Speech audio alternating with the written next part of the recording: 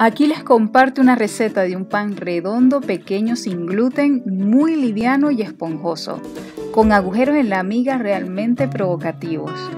Los ingredientes son muy básicos en la cocina sin gluten, muy fácil de hacer y además son muy bajos en carbohidratos. Lo pueden consumir personas sensibles al gluten que a la vez tengan problemas para regular el azúcar en sangre. Si no consumes gluten y extrañas el pan, esta receta es para ti. Acompáñame hasta el final que te explico el paso a paso.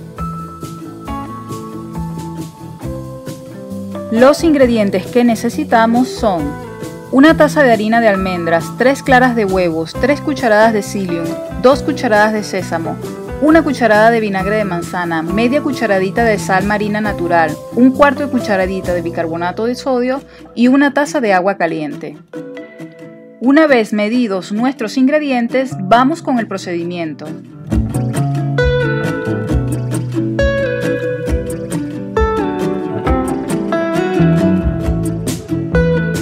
En una fuente agregamos los ingredientes secos. Empezamos con la harina de almendras, sal, bicarbonato de sodio, sésamo y el psyllium, para luego mezclarlos todos bien.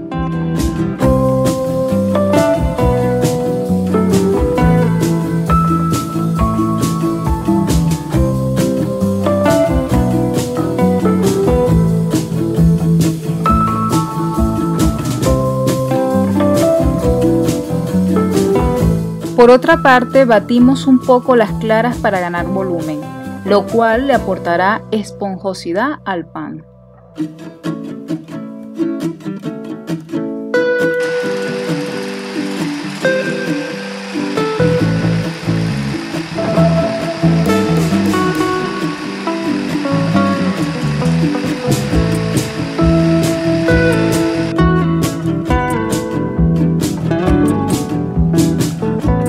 Ahora es el turno de los ingredientes húmedos. Regresamos a nuestra fuente para incorporar el vinagre. Luego vamos a ir agregando agua caliente poco a poco y mezclamos enérgicamente para que el psyllium quede bien distribuido y así gelifique uniformemente. El psyllium es un gran aliado para la salud, que además nos ayuda a simular la textura del gluten. Posteriormente vertemos las claras de huevos espumadas y mezclamos con movimientos envolventes para no perder el aire que ganamos al batir las claras.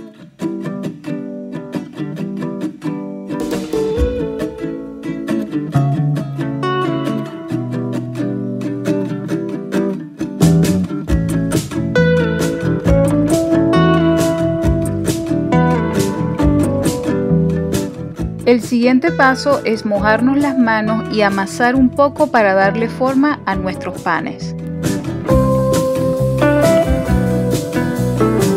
Dividimos la masa en partes iguales. Con estas medidas se obtienen de 7 a 8 porciones. Formamos pequeñas bolas un poco aplanadas en el fondo y la colocamos en nuestra bandeja cubierta con papel vegetal.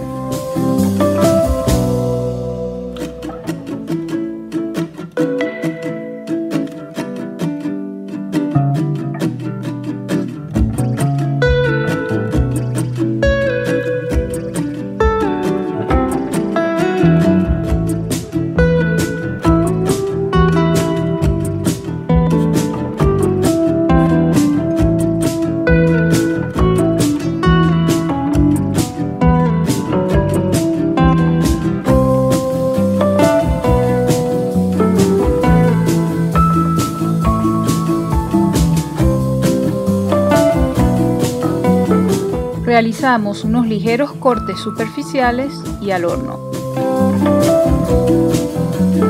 Precalentamos el horno a 270 grados centígrados y horneamos a esta temperatura durante los primeros 10 minutos y luego bajamos a 250 grados centígrados. El horneado se lleva aproximadamente 30 minutos.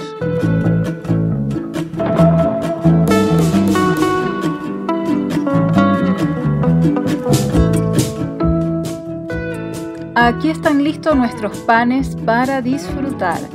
Espero que les haya gustado esta receta. Si es así, dale like y compártela. Suscríbete si aún no lo has hecho para que no te pierdas lo que viene. Cuídense mucho y hasta la próxima.